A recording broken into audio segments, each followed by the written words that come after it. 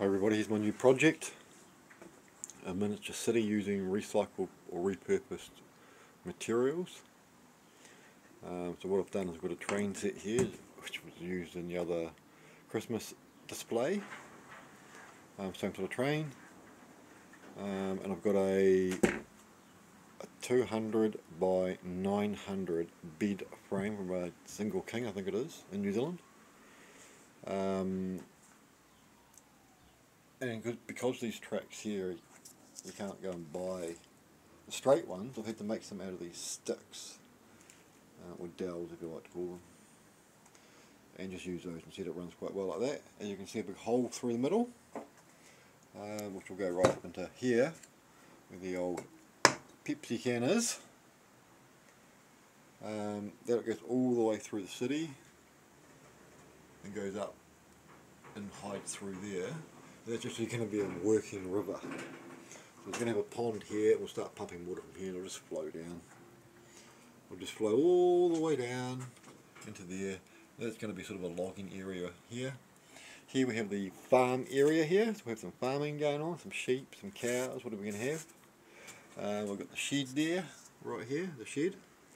Up here is the, the wall, changed into a wall, and that's going to be the start of the hills. So it's going to be a hill through here. I'm going to have a tunnel here and a tunnel here. It's also a good way I can hide the working mechanisms for the pump. Uh, that's why you chose this bead like this because it's just basically a base and you just lift it up and pull it off. Because I'm out here though I'm just going to use up on the wall and glue them up there. Um, so that'll be start of the, of the sort of mountain hill. Um, the farmhouse will be here.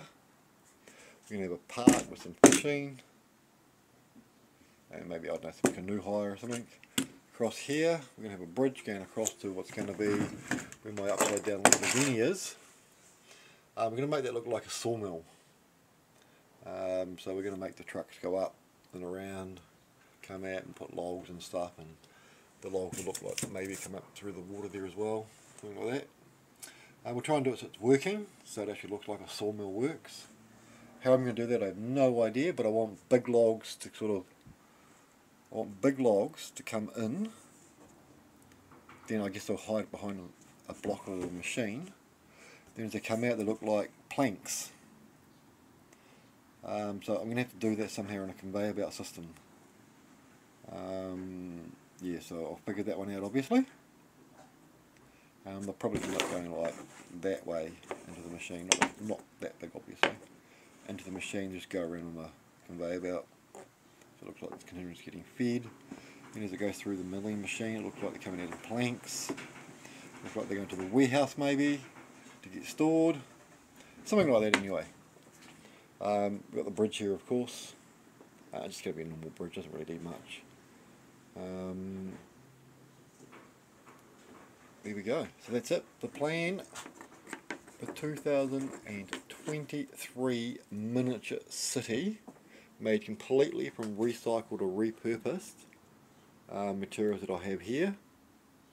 The only things I'll be probably buying are glue, glue sticks, um, more vehicles,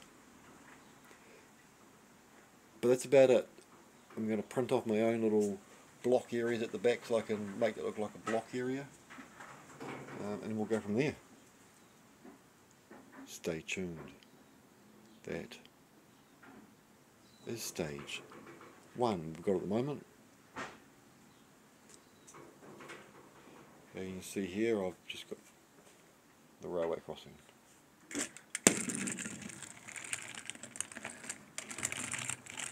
Works really well. I um I use my 50th anniversary Countach for my test. If that can make it over there, anything will make it over there. Because that is the lowest looking thing we've got.